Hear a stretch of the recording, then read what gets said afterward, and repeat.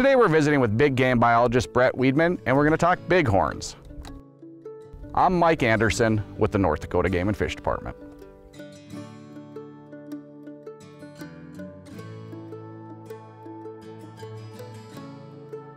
Brett, our bighorn population's probably the highest it's ever been since reintroduction in 1956. Yeah, that's correct, Mike. Uh, the last wild bighorn was confirmed killed in North Dakota in 1905.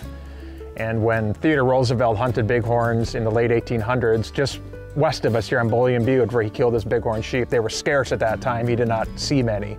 Uh, they were then reintroduced in 1956. So our current population level between bighorns managed by the Game and Fish Department, National Park Service, and three affiliated tribes. Uh, probably the most bighorns we've had for at least 150 years. So it's been a real successful restoration project. Okay, what is the population?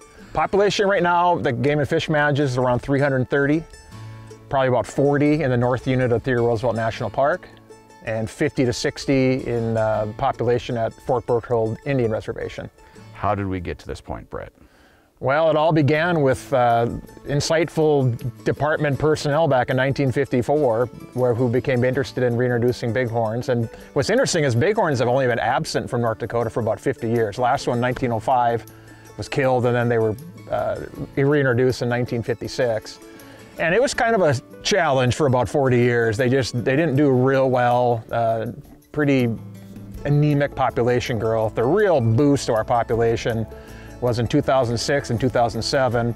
Our colleagues in Montana with Montana Fish, and Parks were kind enough to give us bighorns from the breaks in Montana. We introduced those, uh, group in 06, group in 07, and they have just done extremely well as far as adult survival. And the main thing is, is lamb recruitment. They just successfully raised so many lambs from those introductions and those populations We've now translocated animals out of those, moving to other areas. So we kind of have that Montana genotype, phenotype throughout basically most of the northern Badlands now. Uh, what is our goal for bighorns in North Dakota?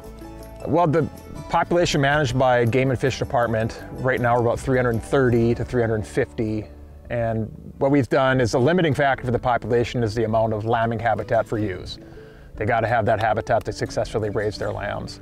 So we basically identified all available lambing habitat. So ultimately we could get up to about 700, 750 bighorns, just that population managed by the department, if all of our habitat was occupied.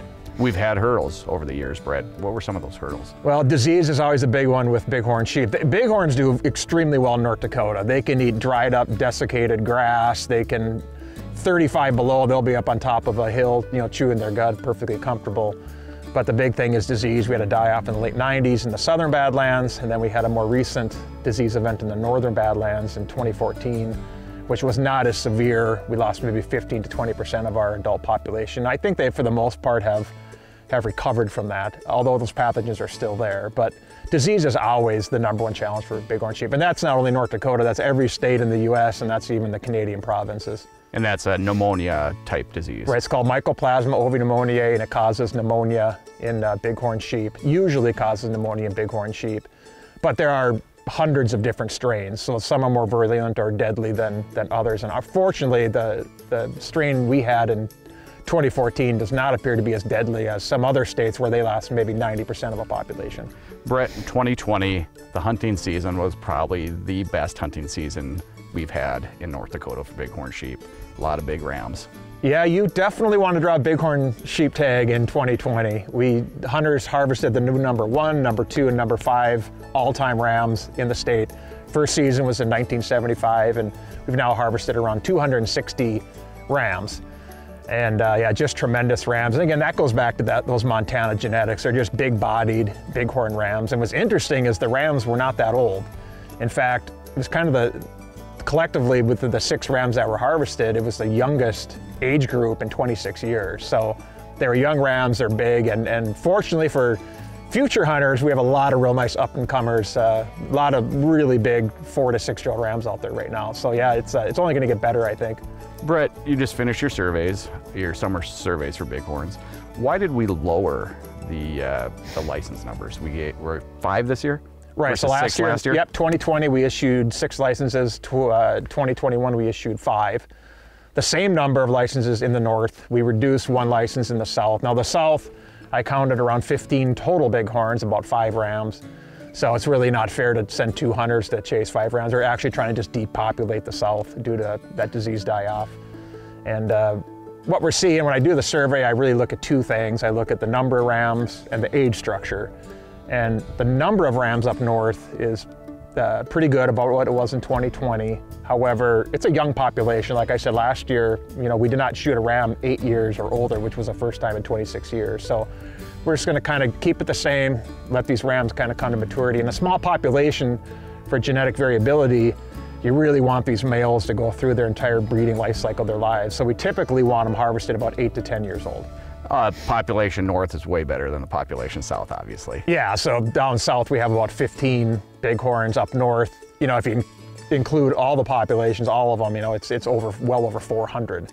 So definitely doing better better up north. And and the, our counts, I think we've had a record count something like four years in a row up north. So there, the north is really carrying the weight right now. Brett, we also have an auction tag that we auction off every year for bighorns. Explain that. Right, so the department auctions one bighorn sheep license annually through the Midwest chapter of the Wild Sheep Foundation, and 100% of those revenues come back to the state to manage bighorn sheep. So last year, like we talked about how well and big these rams were, this year our auction license sold for a record $135,000. But that money is well used. That's for GPS collars, airplane time, gas from the pickup, all the all the survey gear. So it, it really funds the program. So bighorns really fund their own management right now within the state. It's, it's not a drag on, on uh, state budget or anything like that.